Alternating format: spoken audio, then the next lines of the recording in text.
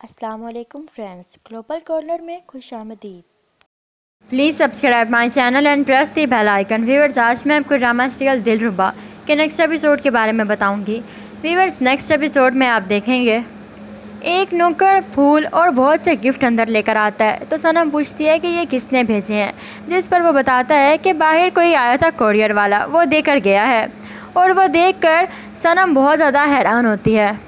और उसके ऊपर नाम भी लिखा होता है, फ़रोम फ़रहाद। तो सनम हैरानगी से सोचती है कि ये फ़रहाद कौन है? तो व्यूवर्स आप लोगों को क्या लगता है कि अब नेक्स्ट इस ड्रामे में कौन सा ट्विस्ट आने वाला है? अपनी कीमती राय का इजहार कमेंट सेक्शन में ज़रूर कीजिएगा। हमारी वीडियो पसंद आए तो लाइक करें और हमारे चैनल को सब्सक्राइब करें। Thank you